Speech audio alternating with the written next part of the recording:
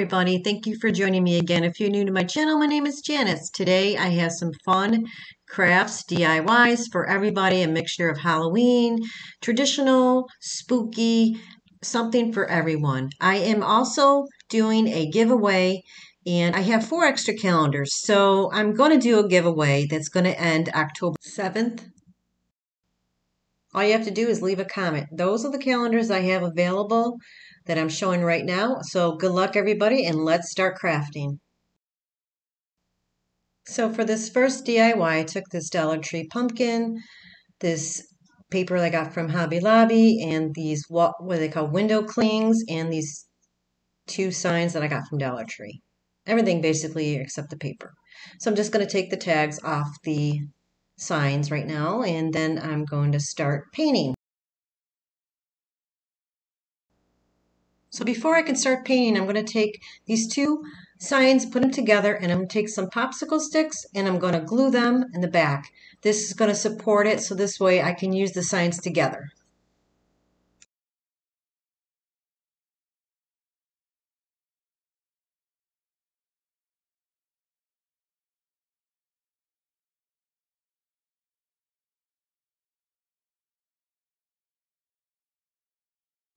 So now I'm just taking some hot glue, putting a strip in the back of the popsicle sticks and applying it to the boards.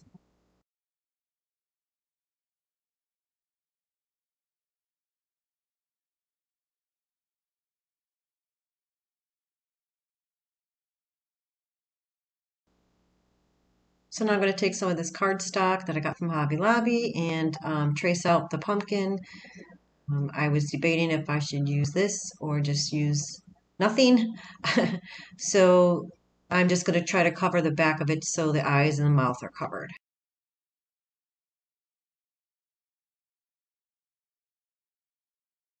So now I'm going to paint the sign with the colors orange and flag red. I'm going to mix them together to get a little bit of a deeper orange.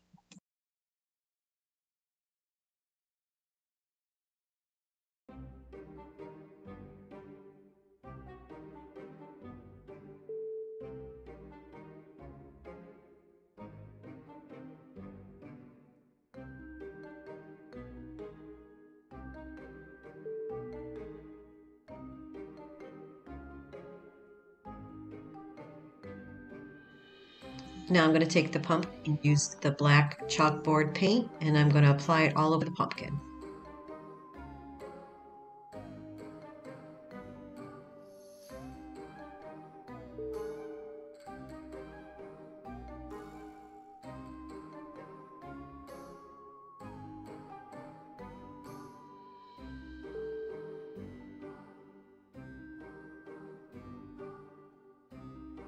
Now that the signs are dry, I'm going to take these window clings and I'm going to start positioning them on the board. So I was debating if I should just leave the pumpkin on the board with the orange popping through it or should I use the cardstock? I was going back and forth. I was they both look good actually, but I didn't I wanted something more to actually pop out at you. So I went with the cardstock. So now I glued down the pumpkin. Now I'm going to take my hot glue gun and I'm going to position it on the board so this way I know where to put the wording um, on the board so I have enough room for everything.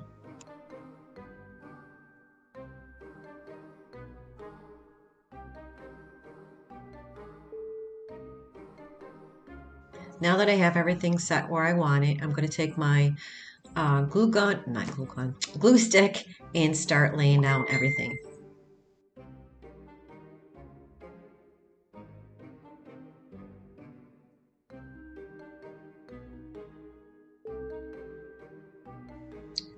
Now I'm grabbing some uh, raffia, not raffia, yeah, raffia. Oh my God. And I put a little bit in between and I'm just taking some of the jute twine and wrapping them all together.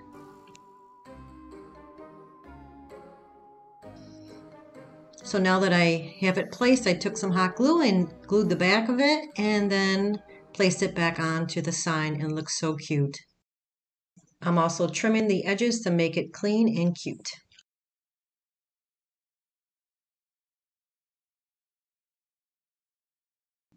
And this is what it looks like. I think it came out so, so cute. What do you guys think?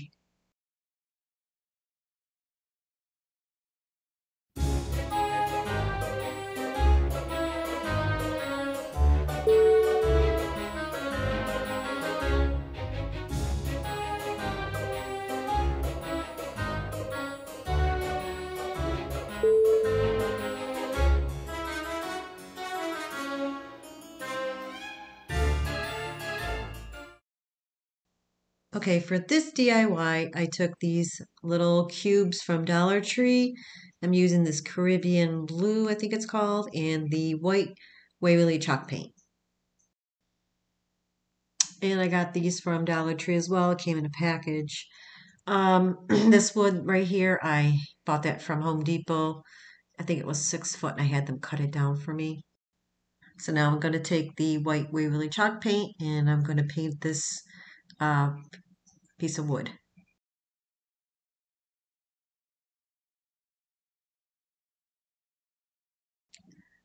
So I'm going to take this Caribbean blue paint and I'm going to paint the three little cubes with it.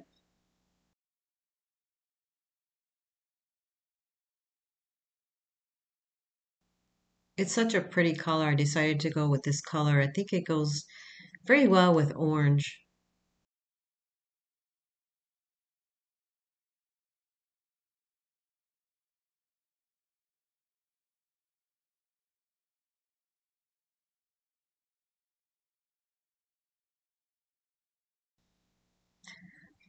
I think it's very pretty. So now I'm going to finish most of them off camera. I don't want to bore you too much with the painting. so I created this on my Cricut and um, used my black vinyl.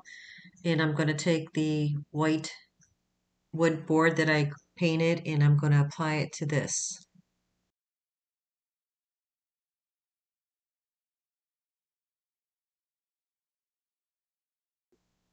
I think the word gather is very um, fitting for Halloween or Thanksgiving.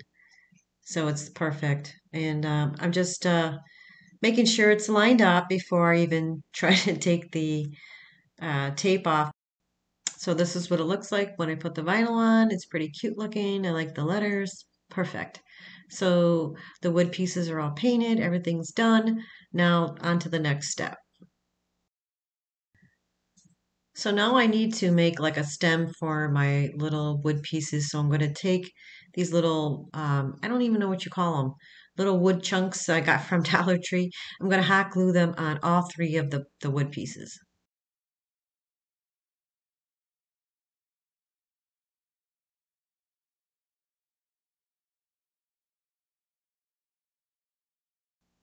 Okay, so that's done. Now I'm going to take this ribbon I got from Hobby Lobby and I'm just going to cut a little piece and angle it um, to get that pretty angle. And then I'm going to take a little bit of the jute twine and I'm going to tie it off in the middle and then hot glue it down to the wood pieces.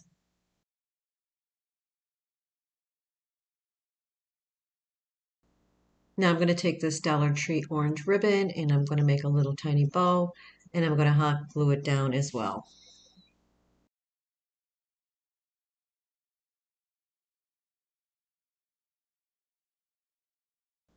So I'm just cutting the ends and angling it upward and leaving like a little tiny point. It's very cute. I told you the orange and the blue, it looks so adorable. Now I'm going to add a few leaves um, to the back of the little box area um, to give a little more color.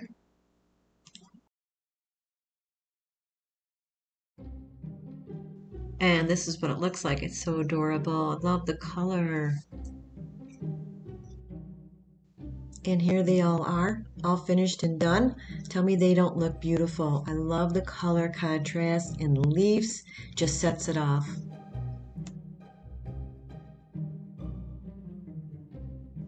So now I'm going to make a cloth uh, pumpkin that's going to go with um, the previous DIY. I took this checkered teal color or light blue color. It's so pretty.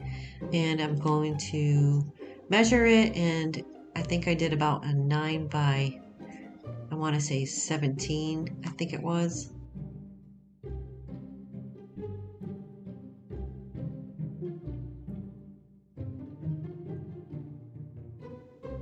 So I'm taking my Dollar Tree rotary cutter and I'm just going to do a long strip of nine inches, I believe it is. Yeah, nine inches.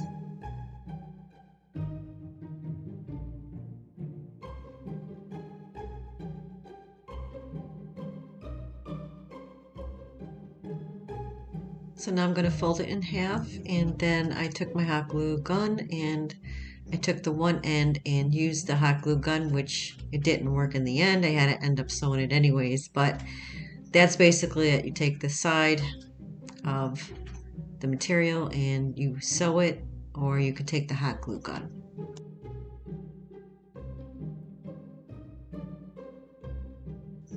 Okay, so now I turned it inside out and I'm going to start filling it with the polyfill and then I'm going to sew the top.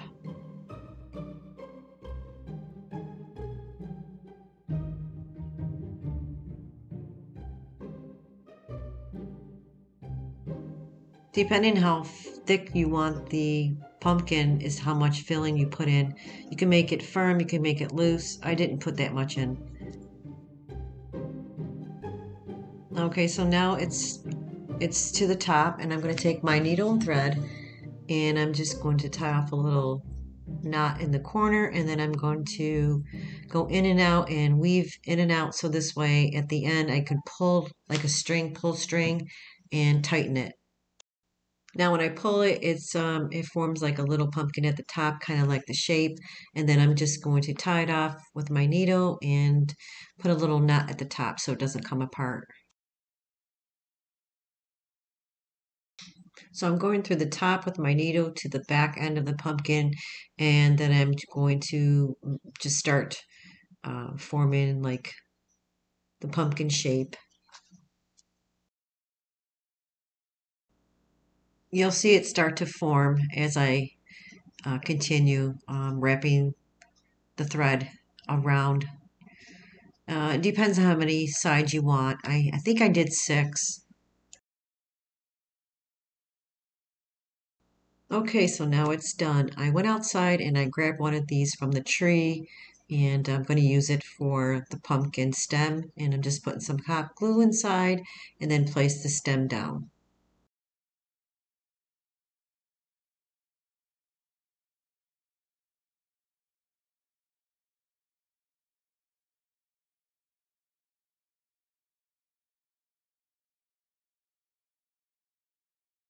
So to match the other wood boxes, I took the same um, pumpkin color ribbon and some raffia, and I'm going to hot glue it to the pumpkin.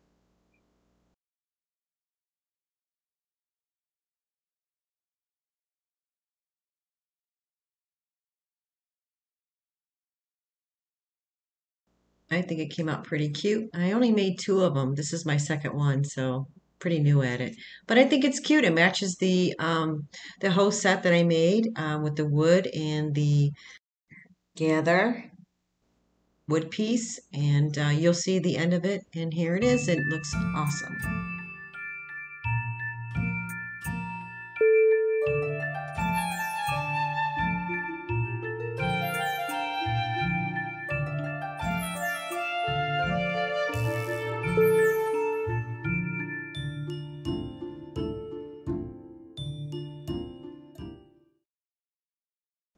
So for this DIY, I took the skull I got from City and these skull hands I got from Dollar Tree and this canvas that I got from Dollar Tree and these lights from Dollar Tree.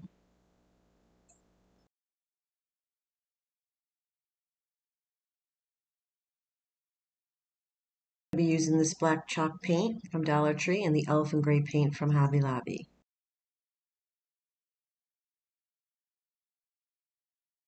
Also using this burnt umber and this antique wax, or not antique, antique white apple barrel from Hobby Lobby, and this other brown paint.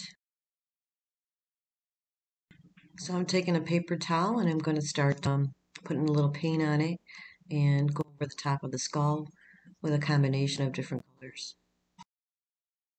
I'm going to start using the burnt umber first and just blotting it all around the skull. I'm trying to make him look more scarier than he looks.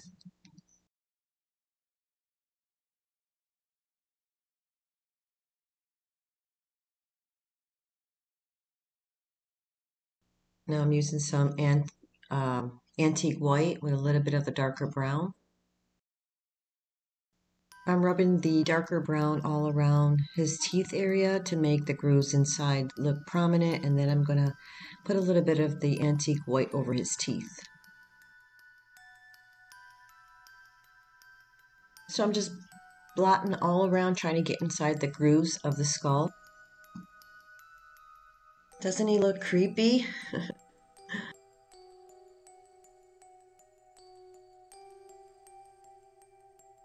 So I'm taking some of the burnt umber and the antique white and I'm just going inside his eyes and just going all around the skull, trying to blend it together.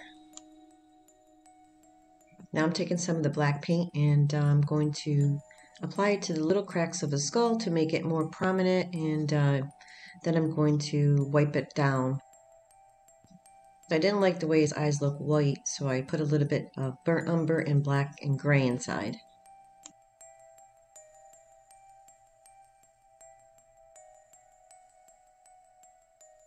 Now I'm taking the white chalk paint and I'm going to start applying it to the skull hands and some antique white and a little bit of the gray and burnt umber.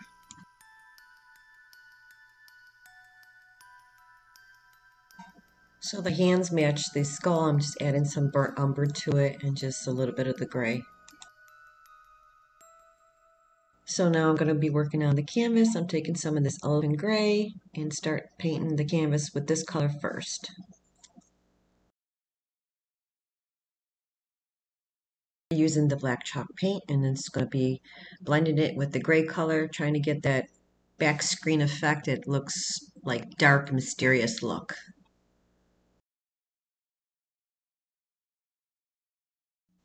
Now I'm going to be taking the canvas and the skull and I'm going to try to measure um, the back end of the skull because I need it to come through the back so it can lay flat the reason why I use the canvas is because it's too hard to use wood to cut the wooden back, so the canvas was much easier. So now I'm going to measure the back where I need to cut. So I'm using my knife that I got from Hobby Lobby, and I'm just going to cut a portion of the area that I traced out.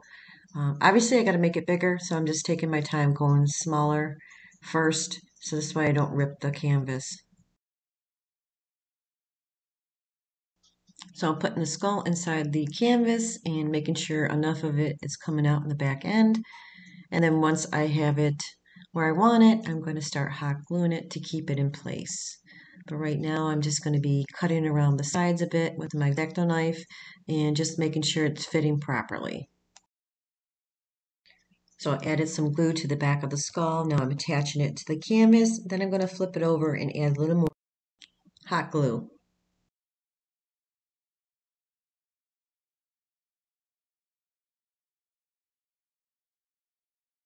To come together. So that look really cool. Now I'm going to take the skeleton hands and I'm going to do the same thing. I'm going to put them on the side of the skull and put a little tiny slit of a hole and then hot glue it to the canvas.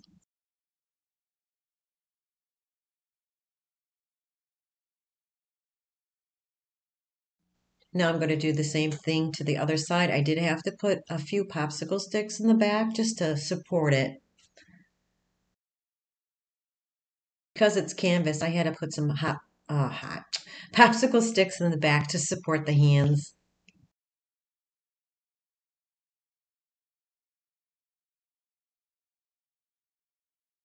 Okay, so now that it's finished, I'm going to figure out how I'm going to place these lights. I decided to put them behind the canvas and I poked little holes with my little screwdriver in the back end of my paintbrush. This way it makes it easier to apply the little lights through it and then I hot glue them I think this really came out amazing. I'm really, really happy what, how it turned out. So I'm just finishing the back of the lights and hot gluing them in place, and then I will reveal what it looks like. I mean, honestly, this is my favorite DIY I've ever made.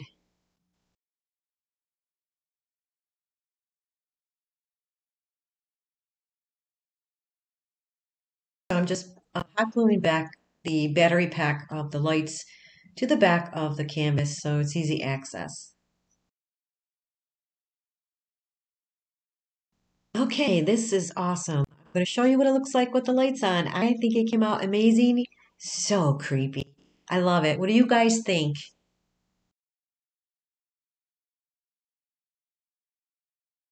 So I decided to add some spiders and I got these from Dollar Tree and I'm just going to put a few around his face and a little bit on the board. Okay, and here's the finished product. I hope you guys like it.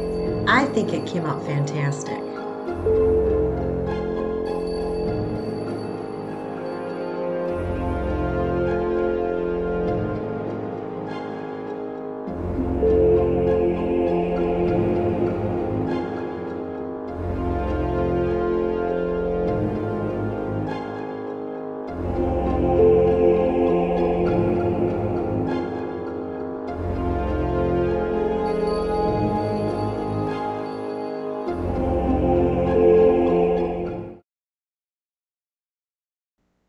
Okay, last DIY, I took this Dollar Tree pumpkin. I'm going to be using Mod Podge. And I took this Dollar Tree candle that I previously painted black and some of these bats from Dollar Tree. I also took a couple pages out of a book and I cut some pieces down that I'm going to be using on the pumpkin. The first thing I'm going to do is I'm going to take the pages that I ripped out of the book. I'm going to take some Mod Podge and apply it to the pages and on the pumpkin as well because I'm going to be applying the paper to the pumpkin.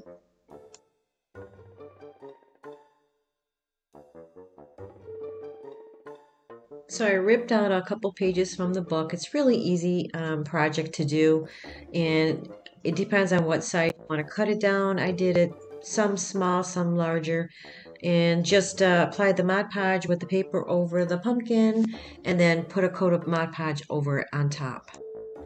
So now I'm taking pumpkin hot glue and applying it to the candle holder and taking some of these bats and I'm hot glue them all around the pumpkin as well. Using some of these Dollar Tree purple flowers and I'm going to pluck them off and put them in the middle of the pumpkin on top of the pumpkin. And this is what it looks like when it's done. I think it came out really cute, very quick and easy, and great for Halloween. What do you guys think? Well, that's it for this video, guys. Thank you so much for joining me again. I hope you enjoyed this video as much as I enjoyed making it. Until next time, guys, bye-bye.